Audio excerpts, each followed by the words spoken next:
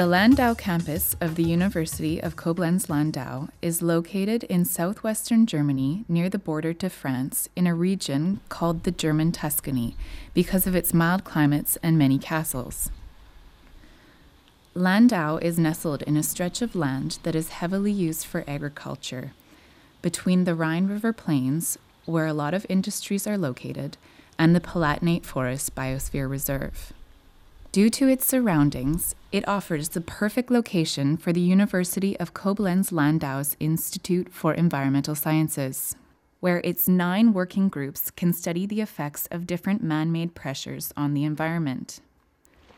Nowadays, chemicals released into the environment, such as pesticides, wastewaters, or nanomaterials, are one major pressure for ecosystems created by our society.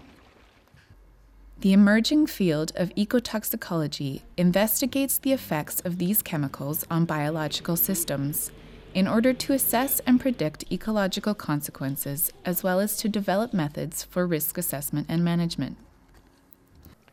Yeah, the master program on ecotoxicology here at the campus in Landau benefits from an interdisciplinary approach combining various disciplines like chemistry, biology, physics and uh, also geography. And um, the students uh, in studying here learn these interdisciplinary approaches in many small courses, small practical courses, where they uh, are uh, being educated by the various scientists uh, uh, displaying these different disciplines.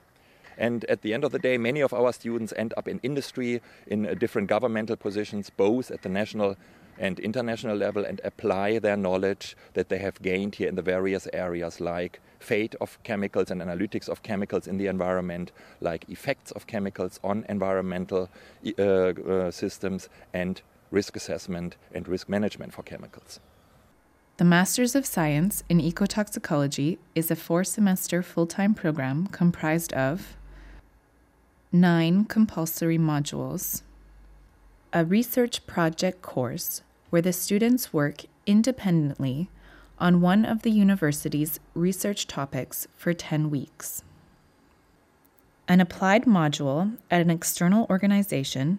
which is an eight week internship at a university, governmental, or industrial research institute in Germany or abroad.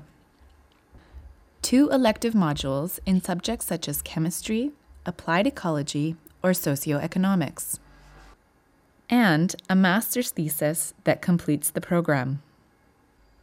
In the following videos, we will provide you with information about the compulsory modules and where to find out more about the Masters of Ecotoxicology program. So long, and see you in Landau.